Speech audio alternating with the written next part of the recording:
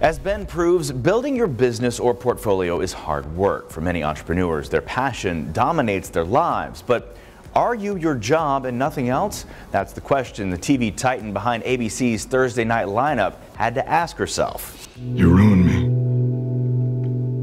I'm ruined. I'm ruined. I don't care.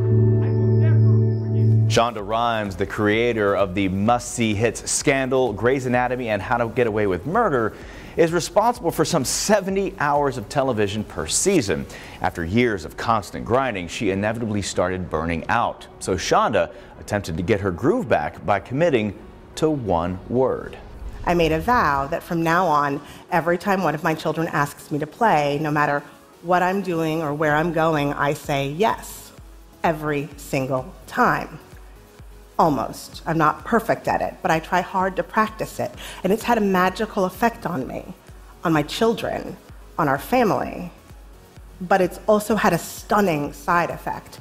And it wasn't until recently that I fully understood it, that I understood that saying yes to playing with my children likely saved my career.